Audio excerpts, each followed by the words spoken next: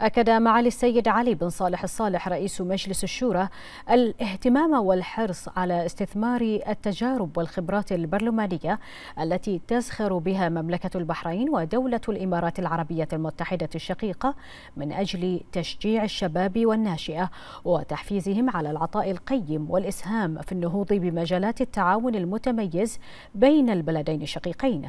وأشاد معالي رئيس مجلس الشورى بقصص النجاح التي تحصدها البحرين والإمارات وما وصل إليه البلدان الشقيقان من مستويات عالية من الشراكة والتنسيق على كافة الأصعدة.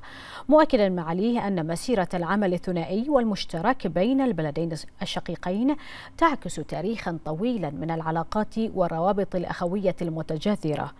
جاء ذلك خلال استقبال معاليه سعادة السيد ضرار بلهول الفلاسي المدير التنفيذي لمؤسسة وطن الإمارات حيث قدم لمعاليه وفدا شبابيا من خريجي الدفعة الأولى من برنامج البرلمانيون الشباب الذي تنظمه مؤسسة وطن الإمارات بالتعاون مع المؤسسة الاتحادية للشباب.